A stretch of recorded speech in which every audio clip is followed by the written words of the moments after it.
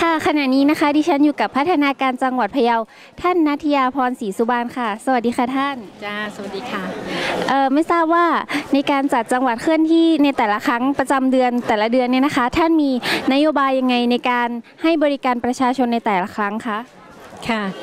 จังหวัดเคลื่อนที่นะคะก็เป็นโอกาสหนึ่งที่เราจะได้มาพบปะพี่น้องประชาชนอย่างหลากหลายนะคะทุกระดับเลย ก็มีนโยบายนะคะมอบให้อำเภอเนี่ยนะคะ เอางานพัฒนาชุมชนเนี่ยมาประชาสัมพันธ์นะคะ แล้วก็ให้บริการให้คำปรึกษาแนะนำในโครงการหลายโครงการค่ะ อย่างเช่นกองทุนหมู่บ้านนะคะ ใครมีปัญหาเรื่องกองทุนหมู่บ้านก็มาปรึกษาหารือได้นะคะ เรื่องการส่งเสริมอาชีพนะคะบางทีเราก็ให้มาสาธิตนะคะมาสอนนะคะในการทำอาชีพเล็ก ๆ น้อยๆที่สามารถเรียน จบได้ภายใน 3 ชั่วโมงอะไรอย่างเงี้ยนะคะ แล้วก็ให้เอาสินค้าโอท็อปของแต่ละตำบลที่เด่นๆเนี่ยมาประชาสัมพันธ์ด้วยนะคะเพื่อที่ว่าพี่น้องประชาชนเขาจะได้มาเรียนรู้แล้วก็แลกเปลี่ยนซึ่งกันและกันนะคะ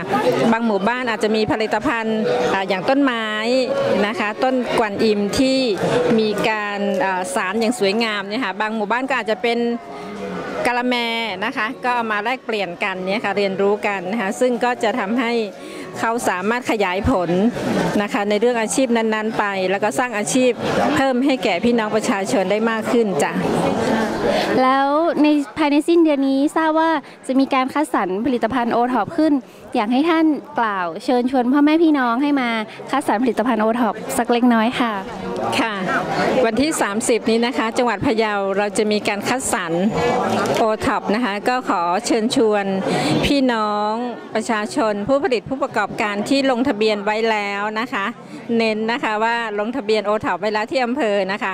นำผลิตภัณฑ์ไปคัดสรรได้นะคะ ที่ศาลาประชาคมจังหวัดพะเยาค่ะ ตั้งแต่8โมงครึ่งเป็นต้นไปนะคะ ยังไงวันนี้ก็ขอขอบพระคุณท่านมากนะคะ ขอบคุณค่ะ